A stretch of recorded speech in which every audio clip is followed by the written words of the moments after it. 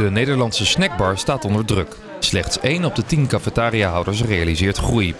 Royaan wilde deze ondernemers helpen om meer omzet uit hun zaak te halen en loofde daarom een prijs uit. Rondom de horecava hebben we een eh, winactie eh, georganiseerd eh, voor cafetaria's die van dobbe kroketten en bitterballen verkopen. En deelnemers aan de actie die kunnen een restyling van hun zaak winnen als ze ons uitleggen waarom zij juist die restyling verdienen. Vrijdag werden twee ondernemers van snackbar en partyservice Zonnemaat in Zevenaar verrast. Marco en Jochem Peters ontvingen het allereerste exemplaar van de Gouden van Dobbe Award en een cheque ter waarde van 10.000 euro voor een totale makeover van hun zaak. Dankjewel, hele grote verrassing. Uh, de zaak is vroeger van mijn vader geweest, van onze vader. En die hebben wij overgenomen. Uh, uh, toen onze vader stierf in principe zijn we doorgegaan met, met, met zijn filosofie. En hij had kwaliteit hoog in het vaandel staan en proberen we voor te zetten.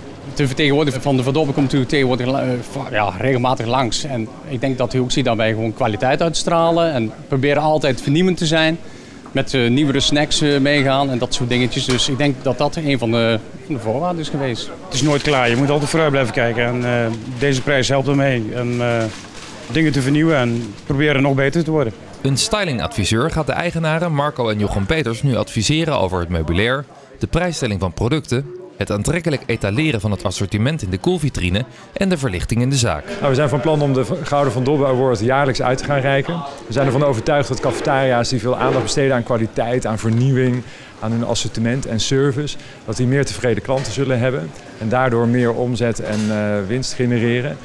Uh, voor tips en advies over deze uh, restyling kunnen ze contact opnemen met een van onze vertegenwoordigers. Van Dobbe komt dit voorjaar zelf ook met een makeover van de Van Dobbe kroket. Op basis van de originele receptuur van Aad van Dobbe, maar vertaald naar de smaak van nu.